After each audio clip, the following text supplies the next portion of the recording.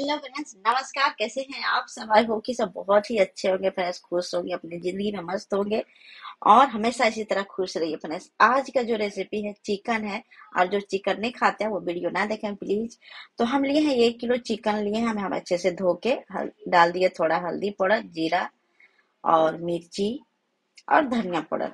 थोड़ा थोड़ा मसाला हमने डाला है, काली मिर्ची डाला है और हरी मिर्च डाल दिया और नमक डाल दिया। और ये सारी चीज़ को मिक्स कर लिए हैं। अब इसमें हम लगाएँगे अंगारा, जो कि बहुत ही टेस्टी लगेगा। आप ज़रूर कोशिश कीजिएगा। और इसमें हम आग ले लिए हैं और डाल दिए सरसों का तेल। आप घी भी डाल सकते हैं। और ये इसको धुआँ जो है ना, इसी में मिक्स होने दीजिए। अगर आपको ज़्यादा डार्क एयर नहीं चाहिए तो आप थोड़ा इसका हटा सकते हैं। अगर आपको इसका ज़्यादा टेस्ट चाहिए तो थाली को ढके ही दो तीन मिनट रख दीजिए। अब कोयले को हटा दीजिए और इसका तेल इसी में डाल दीजिए।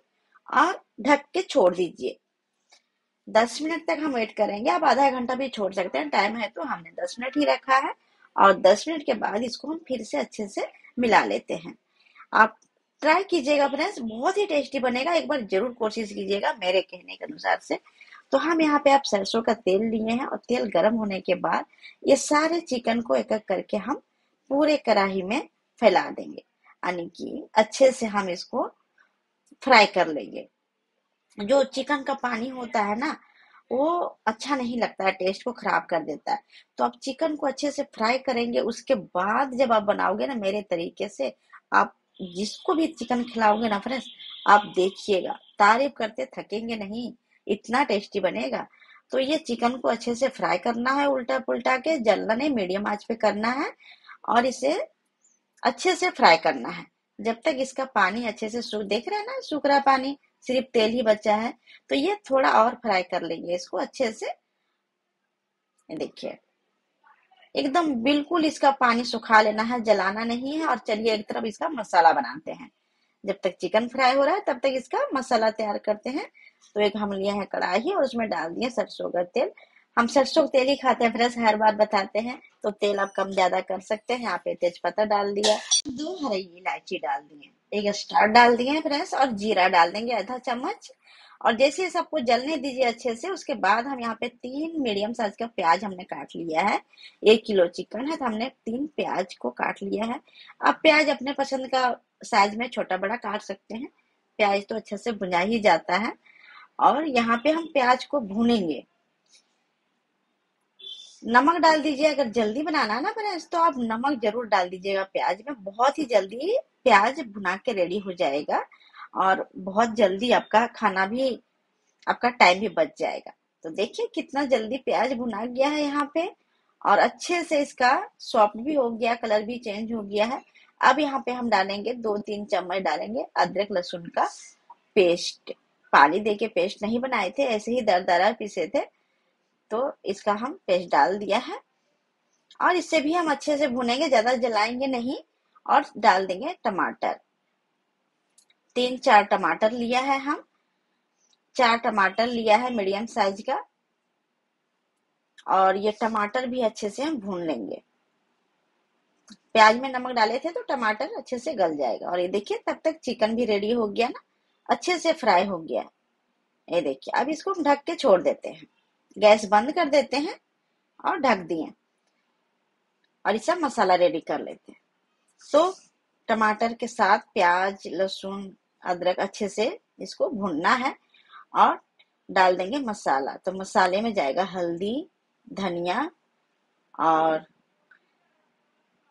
काली मिर्च पाउडर, जीरा पाउडर।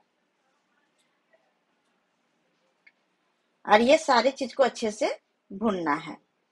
हम उसमें भी मसाला डाले थे, यहाँ भी हम कम ही कम ही मसाला डाला और मिर्ची पाउडर डाला है। छोटा चम्मच से आधे आधे चम्मच डाला है और मिर्ची पाउडर एक चम्मच डाला है। तीखा कम है, कलर ज़्यादा देता है। तो आप अपने हिसाब से डाल दीजिएगा। मसाला कम ही यूज़ कीजिएगा फ्रेंड्स, मसाला खाना ज़्यादा अच्छा नहीं है और मसाला नहीं जले, इसीलिए हम यहाँ पे थोड़ा सा पानी डाला है। मसाला भी नहीं जलेगा और इसका टेस्ट खराब नहीं होगा। मसाला जलेगा ना तो टेस्ट खराब हो जाएगा। तो देखिए, हमने थोड़ा सा पानी दे के मसाले को भूने हैं और यहाँ पे टमाटर वगैरह सब गल गया है और अब डाल देते हैं हम फ्राई किया हुआ चिकन। ये देखिए, और अब मसाले के साथ हम चिकन को भूनेंगे। अच्छे से इसको हम भून लेंगे। और ये जल्दी भी रेसिपी हो जाती है और बहुत ही टेस्टी बन जाती है। जो चिकन खाते हैं ना, उनको इसका, इनका टेस्ट जो है बहुत ही पसंद आएगा। और अभी तो बनाने के अनुसार से समझ में आ गया रहेगा और आगे का स्टेप देखिए, पूरा बहुत ही अच्छा लगेगा। नमक यहाँ पे स्वाद अनुसार डालेंगे फ्रेंड्स नमक हम चिकन में भी डाले थे थोड़ा और थोड़ा नमक हम प्याज में भी डाले थे। तो ये बात को आप ज़रूर ध्यान रखिएगा, ना तो खाना बिगड़ जाएगा फ्रेंड्स तो यहाँ पे हम डाले हैं गर्म पानी। चिकन को तीन से चार मिनट मसाले के साथ भूना हमने। उसके बाद हम डाल दिया गर्म पानी। आप ग्रेवी के हिसाब से डालिए। ऐसा। अगर आपको सूखा बनाना है तो बिना पानी के ढक ढक के मीडियम आँच पे उसको ऐसे भी चिकन पका ही था तो मसाले के साथ अच्छे से भून लेंगे तो सूखा बन जाएगा। और ग्रेवी चाहिए तो गर्म पानी डालिएगा पर। और ये हम डाल दिया चिकन मसाला। देखिए, और ये टाइम नहीं लगेगा। पानी भी गर्म हमने डाला चिकन भी फ्राई करके डाला, मसाला भी पहले से रेडी था तो इसको सिर्फ़ हम अच्छे से उबलने देंगे। तो हम यहाँ पे ढक देते हैं। यहाँ पे पाँच मिनट हम ढक के पकाएँगे।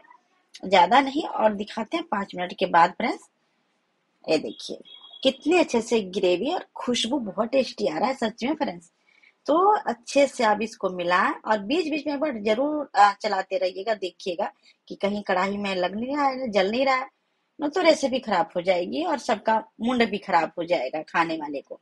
तो आप देखिएगा, ध्यान दीजिएगा इस बात को। हम क्या करते हैं, इसको ढक देते हैं, छोड़ देते हैं। तो फ्रेंड्स, यहाँ पे हमने डाल दिया है धनिया पत्ता। धनिया पत्ता लास्ट में डाल दिया है और ये देखिए इसमें कितना अच्छा ग्रेवी और कितना टेस्टी नज़र आ रहा है ना? खुशबू बहुत टेस्टी आ रहा है फ्रेंड्स और आप भी इसी तरीके से बनाइए। आपका भी बहुत ही टेस्टी बनेगा कमेंट में करके ज़रूर बताइएगा। और चिकन देखिए कि कितना अच्छे से पक के रेडी हो गया है।